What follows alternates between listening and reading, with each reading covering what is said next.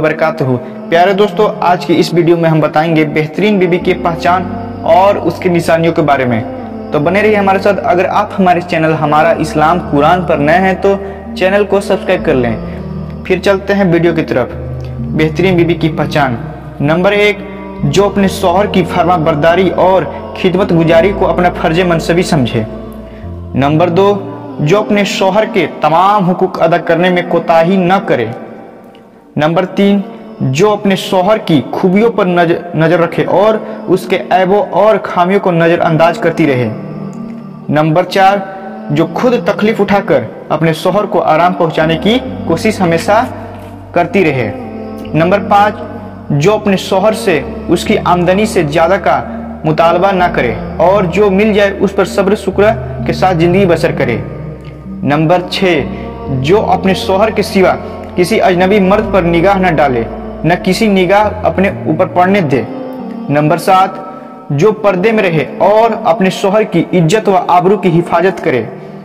Number आठ, जो शोहर के माल और मकान व सामान और खुद अपनी जात को शोहर की अमानत समझकर हर चीज़ की हिफाजत व निगहबानी करती रहे।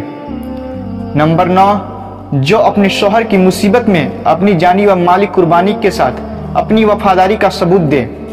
नंबर दस जो अपने शोहर की ज्यादती और जुल्म पर हमेशा सब्र करती रहे।